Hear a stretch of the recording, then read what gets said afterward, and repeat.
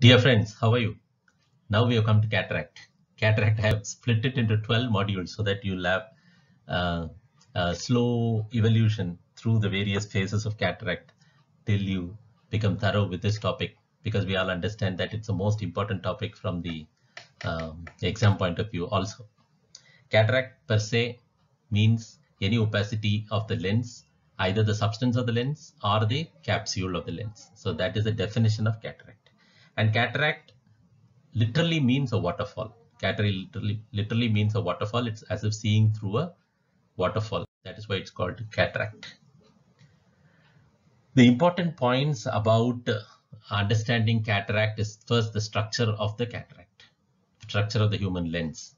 The lens has an anterior capsule which is more flatter and a posterior capsule, an anterior capsule which is flatter, anterior capsule which is flatter and a posterior capsule which is more steeper, more steeper, the posterior capsule which is thinner and it has cortex, epinucleus and nucleus. These are the three known structures uh, we can divide. But this is like an onion peel appearance. As you peel the onion peels, more peel, more layers will expose itself like that. The lens is like uh, onion peel appearance. It is like worlds of layers around each other, around each other. So whatever is oldest, whatever is oldest and more compact is called the nucleus and whatever is young and less uh, compact is called the cortex. And there are layers in between like the uh, epinucleus like that. Another point I want you to understand is that the lens is basically formed from the surface ectoderm. The surface ectoderm forms the lens and the lens detaches and goes and stays inside the developing optic vesicle. It develops being optic vesicle, it goes and stays inside. So basically, though all the structures in the anterior chamber, anterior chamber or the anterior segment is formed from the um, neuroendocrine, neuroendocrinal structures, neuroendocrinal st structures, the lens alone is formed from the surface ectoderm. And this lens, that is why it is called a privileged protein or a sequestrated protein, because it is basically from somewhere else and it has come and stayed here. And the vasculature of the lens is uh, absent. So the immune system of the human body never recognizes the lens as its own protein. That is why one fine day if the protein is going to be leaking into the anterior chamber, the body will consider it to be a foreign protein and start mounting a reaction against that protein. This is the answer for uh, considering lens as a sequestrated protein or a privileged protein. The dimensions of the lens like diameter, refractive index, uh, we when we considered refractive index of cornea, we said 1.376. Remember, now the lens dimension is 1.39, refractive index is 1.39. But the nucleus, if you say separately take nucleus, if you take the nucleus separately, then it is roughly around 1.4. The the um, refractive index of the nucleus is 1.4. So that that you have to grind into mind. The 1.376 of cornea, 1.39 of the lens in toto, and 1.4 of the nucleus separate is uh, very important points. Another interesting feature about the lens is the support of the lens. The support of the lens. Here you see the zonules. Can you see the zonules? The the you you have the anterior zonular limb, the middle zonular limb, and the posterior zonular limb all are attached to the ciliary body. And they even have a zonular plexus and a zonular fork-like arrangement, a zonular plexus and a zonular fork-like arrangement. This attachment is very necessary for the lens to stay in its proper place. If this attachment is disrupted, then the lens will either subluxate or dislocate. They'll ask you, what is difference between subluxation and dislocation? If there is any attachment here, any, any remaining attachment, and the lens is seen in the patellar fossa. This is the patellar fossa where the lens resides. So in the patellar fossa, if it is seen, then it is subluxation.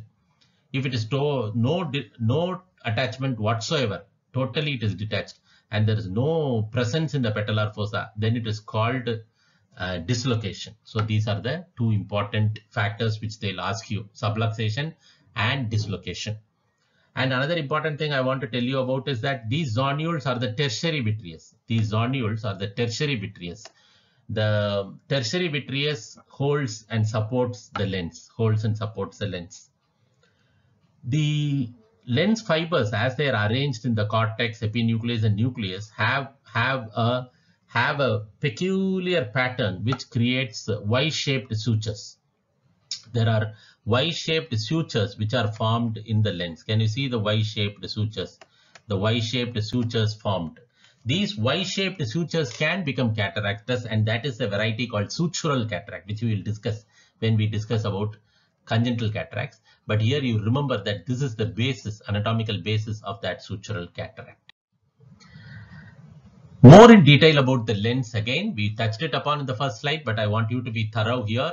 We said the anterior capsule is uh, anterior capsule is present and the anterior capsule is special that it has a layer of epithelium and this is the lens epithelium which is constantly elaborating fibers.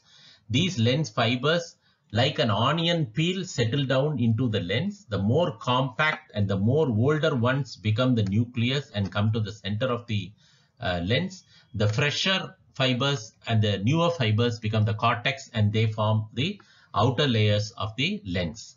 And the equatorial equatorial um, uh, region of the epithelium, the equatorial capsular region of the epithelium has lot of uh, migration also, has lot of lens migration, lens migration. In fact, this equatorial region is also an important region associated with lens fiber formation, lens fiber formation. Posterior capsule is very unique. Posterior capsule is almost uh, uh, null and it doesn't have any epithelium. It doesn't have any epithelium. It is very thin, very thin, very, very thin structure. And it is separating the vitreous cavity from the anterior segment of the eye. It is separating the vitreous cavity from the anterior segment of the eye. The question they'll ask you with the posterior capsule are two. One, posterior capsule is the most important structure which we try to preserve in the cataract surgery for placing the intraocular lens over it. If you if you have done a cataract surgery and if you want to place an intraocular lens over this uh, over this uh, posterior capsule, this is the hammock of support which the posterior capsule gives, and this is where you keep the intraocular lens. That is point number one.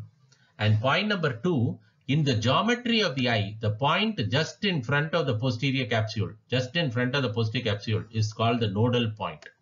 This is the nodal point because any opacity in this nodal point will cause severe obstruction of vision, severe obstruction of vision.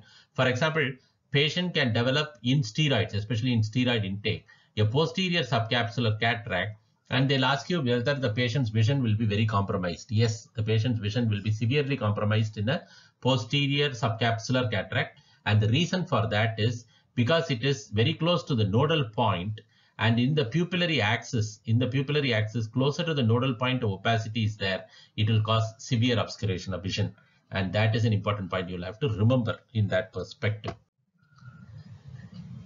Next interesting is as we discussed corneal transparency, there are factors which keep the lens transparent and the major factor is of course avascularity, tightly packed fibers, tightly packed fibers, the semi-permeable nature. In fact, the lens never allows too much of moisture to stay inside. The moment the lens allows more moisture to stay inside, then it becomes hydrated and becomes more cataractogenic. Okay. And there is um, auto-oxidation and high concentration of reduced glutathione. So reduced glutathione is very important. Reduced glutathione is very important. In fact, that is the only material, only material which is synthesized. Only material which is synthesized, synthesized in the in the lens, the glutathione. The reduced glutathione is very important to preserve the um, transparency of the lens. Moreover, in the biochemistry of the lens, you will understand that most of the most of the uh, anaerobic metabolism that takes place here creates lot of lactate, lactate creates lot of lactate, and there is a sodium potassium ATPase pump which is constantly pushing in potassium and pushing out sodium, pushing out sodium. This kind of uh, this kind of constant uh, transfer is happening. So this is the introduction into cataract. We will slowly go into the more detailed aspects of cataract in subsequent PPTs.